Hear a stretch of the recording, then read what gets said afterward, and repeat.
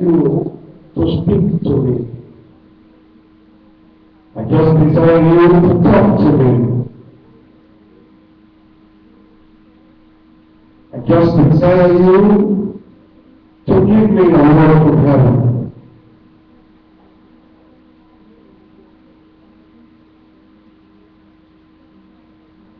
Let this month be my month of turnaround. Let this month be my month of big manifestations. Let it be my month of proofs.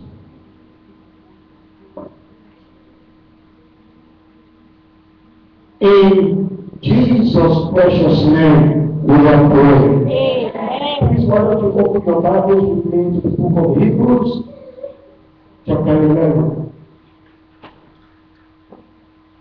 Hebrews chapter 11. From verse 1 to verse 3. Hebrews 11, from verse 1 to verse 3. If you are there, can I hear? Shall we read together? Now, faith is the substance of things hoped for, the evidence of things not seen. For by it he has obtained a good report. Through faith you understand that the worlds were framed by the word of God, so that things which are seen were made of things which do appear. Talk verse 27. It says, by faith together, by faith he forsook Egypt, not hearing the word of the king, for he entered as seen in is invisible. Father, today we pray that you will breathe on these words and let these words become the flesh of our destinies in the name of Jesus.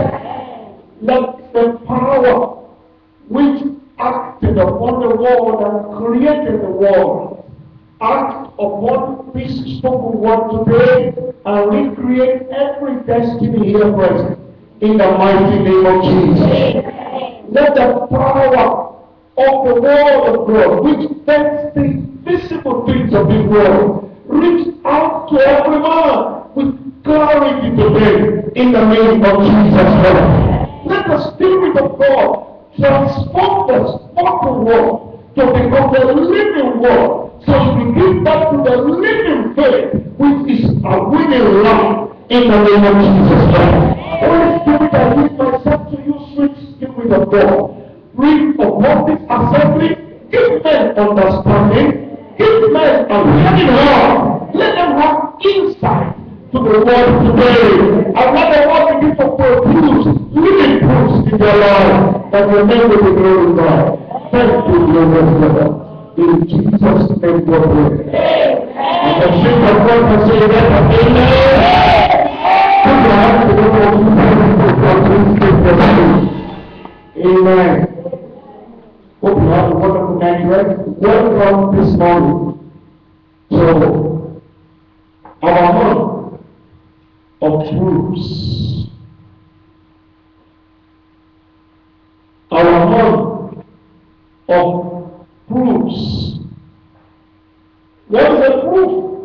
A proof is an undeniable evidence that something is in existence. A proof is an undeniable evidence that something is in existence.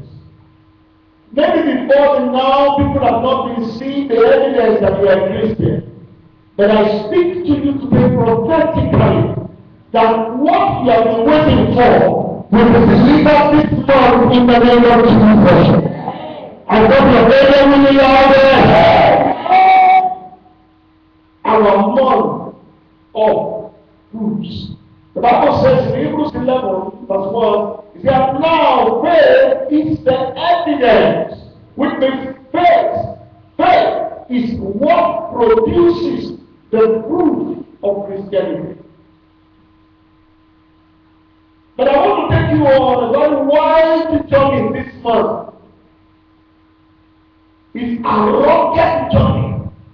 is to give you a shift in your mind, give you a shift in your spirit. This month you will discover certain things you will never know about. Hey, I've never known them, I just discovered them, and God began to work on them in my spirit, man. And I'm so excited to share the same truth which are producing effect in my life with you. So I want to tell you, in every one simple sentence, just open your heart to receive. Why? God will be speaking personally, one on one to you. And you know God can't speak to you, and there is no evidence. Which means this month, your proofs will be real in the name of Jesus. Isaiah chapter 34, verse 16, and verse 17 says something very important. He says, Set ye out of the book of the law and read. Set out of the book of the law and read, for none of these shall wander away. For my mouth hath commanded it, and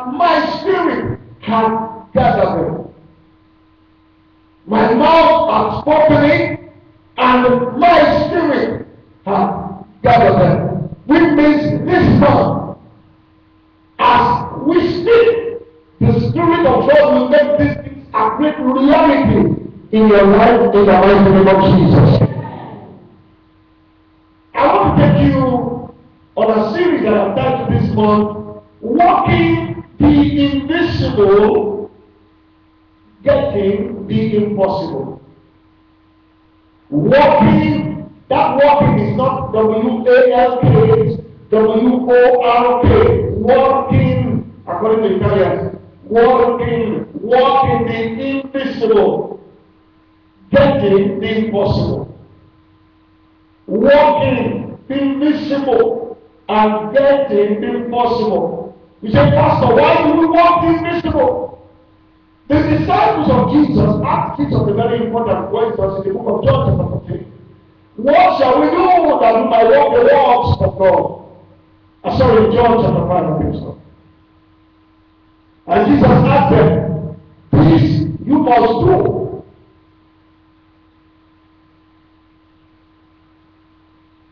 John chapter 5, and verse 28. John 6 28. He said, Then said they unto them, What shall we do that we might walk the walks of God? So you walk the walk, you walk the invisible to get the impossible. There's walking. Now, many people are stuck in confession. That before confession, there is a procedure. Confused and it is not producing. Because every product is a product of a process. Every product is a product of a process. So you want the invisible. The invisible is the raw material. You must process a raw material for it to give a product. Is that correct? So the invisible is the raw material that produces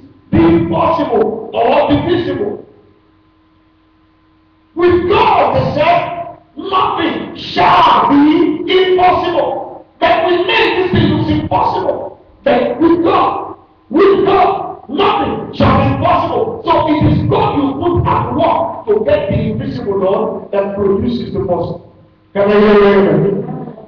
But many a times we have defined faith from different levels or different grades. But there is one definition I read some years ago, and I love that definition. And said faith is partnering with the invisible. Is that correct? To be able to do the impossible. I like that definition. So we are going to stay on that definition to do our research on the subject of faith. Define faith some years back that faith was his faith.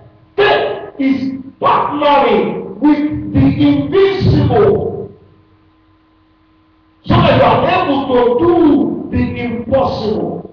In Hebrews 11 27, the Bible says, Moses saw God as the invisible. So it is the invisible which you partner with to be able to do the impossible.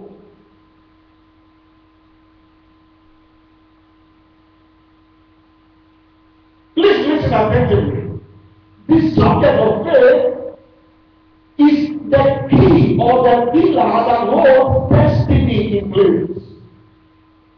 If it is well understood and followed, then it is obvious that such a destiny will prosper and will succeed. Now, prosperity has been wrongly interpreted or translated to mean wealth. Meanwhile, prosperity, according to the book of Joshua, chapter 1, verse 8, is success. Now, what is success? Success is the accomplishment of an assignment given to you by God. That's what it says. So, prosperity is doing what God has called you to do and you succeed in what God has called you to do. So, destiny is really built on faith. Without faith, your destiny will crumble. So, this month, we will look how faith not just operate, but how faith is bent. How do you give birth to faith? Faith is a child. So you must give birth to it. Now, if you don't give birth to faith, you are going to continue your life with endless struggles. How many of you have ever read that scripture Hebrews chapter 4, verse 1 to verse 3? I never read it before. Let's go back there. Because I want to give you some deep understanding and revelation. Hebrews chapter 4, verse 1 to verse 3. If you are let me hear you anyway. It says, Let us therefore fear, let the promise be left us of entering into rest. Any of you should see to come short of it. Let us fear. Let us fear. If not, we will miss the promise. But how? He said, For unto us was the gospel preached as well as unto them. That the gospel which was preached unto them was not mixed with faith. And because it was not mixed with faith, it did not give them any promise. He said, For we which have believed do enter into what? Into what? So, when faith is absent, rest will be absent. And what is rest? You are free from struggle. You are free from labor. You now enter into war. God labored for six days. On the seventh day, he rested. Then what did he labor with in six days? God labored with faith. That's what the Bible says in that Hebrews 11 verse 3. For we understand through the word that God, through faith, forth the world out of the world. Did you hear what I said? God brought the world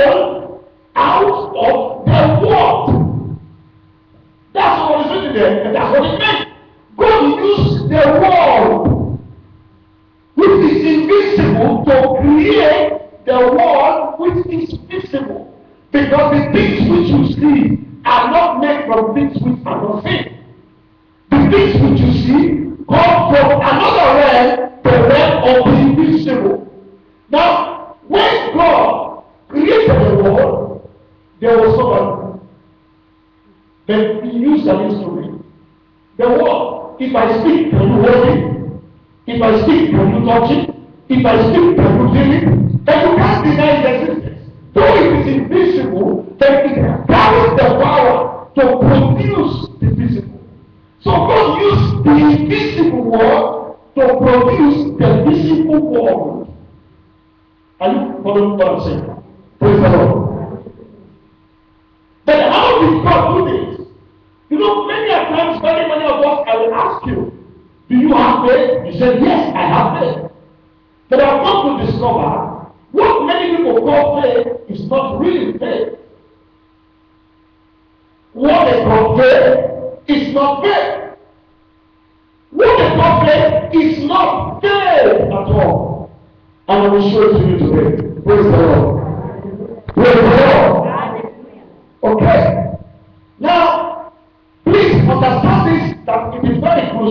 Because I want to take you like I